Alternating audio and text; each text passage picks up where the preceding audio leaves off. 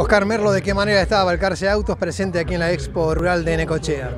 Bueno, nosotros acá acompañando la Expo, visitando eh, bueno, acá a nuestros clientes, o ellos visitando a nosotros, mejor dicho, eh, estamos con, la expectativa de, bueno, de, un año bueno, que nosotros lo vemos próspero, eh, con nuestra, nuestra zona de influencia donde nosotros eh, buscamos estar eh, más presentes en los eventos y para que, sepan que, la Ford de Balcarce está también presente acá en Necochea y cada vez más, como más local. ¿Pero de qué manera y desde cuándo está presente en, en nuestra ciudad la firma? Bueno, la firma está dentro de las distintas razones sociales, ha estado presente desde hace mucho tiempo. Eh, nosotros, eh, nuestra firma Valcarce Autos está del 2015 en la calle, en la avenida 59 entre 22 y 22 bis con el Quilen, que es también una franquicia de Ford, donde atendemos multimarca, pero el Ford eh, mantiene la garantía y también tenemos nuestra oficina de Planóvalo. Nosotros ahora estamos en un plan de expansión, nosotros estamos buscando una locación acá en Necochea como para poder estar más presente con un local de venta, no solamente para, el plan de ahorro, sino para la venta tradicional y para grandes clientes, que es la parte de flotillas, que nosotros lo estamos atendiendo desde Balcarce y venimos asiduamente acá a Necochea, pero bueno, en nuestra zona de influencia, que es Necochea, San Cayetano, Lobería, eh, queremos que tener una, locación acá más acorde a lo que nosotros estamos eh, dispuestos acá a invertir en Necochea. Y esto en cuanto a tiempos, ¿cuándo podría concretarse? Nosotros ahora bueno, planteamos la, necesidad con, en Ford, en Ford Argentina, eh, donde nosotros estamos buscando locaciones eh, como para poder plantearles. Tenemos, hay un proceso que hay que, hay que respetar,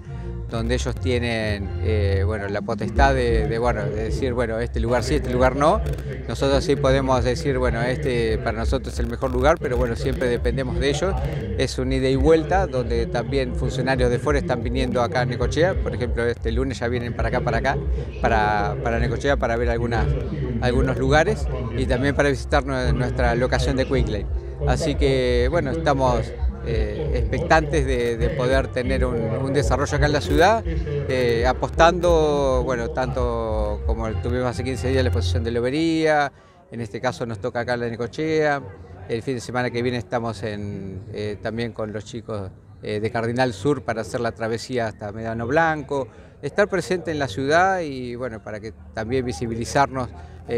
bueno, en que sea una opción para, toda la gente de la zona eh, que Balcarce Autos tiene eh, los productos y bueno, la insignia de Ford como para, para poder eh, satisfacer la necesidad de los clientes. Merlo, y hablando de productos precisamente, ¿cuáles son los que tienen mayor demanda?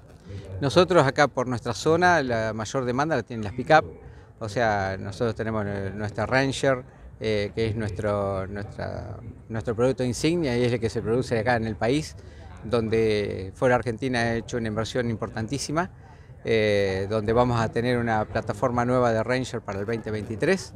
donde estamos trabajando todos para, posicionar el producto. Eh, realmente ha sido una inversión increíble y el producto está muy bueno. Eh, no podemos divulgar más información, pero bueno, lo vamos a tener sobre mediados del año que viene, donde bueno, vamos a, a, posicionar este Ranger como, bueno, buscamos siempre estar liderando, liderando los segmentos. Después también tenemos la, Maverick, que es un producto nuevo, también como para la gente del campo y una, una camioneta tanto urbana como, como rural. Eh, y después todo lo que es la línea de utilitarios, que es la parte de tránsito, que es una apuesta muy importante para de fuera Argentina, donde se instaló una fábrica en Uruguay, antes venía de Turquía, donde están tanto los furgones como los, el minibús. Así que eh, todo el desarrollo, más toda la parte de SUV, eh, que tenemos un portfolio importante de la Territory, la Bronco, la Kuga, y eh, la apuesta de Ford, que va todo sobre la electrificación, donde está haciendo una planta muy importante en Estados Unidos, con un convenio que tiene por el litio acá en Argentina, donde ya se han, han anunciado varios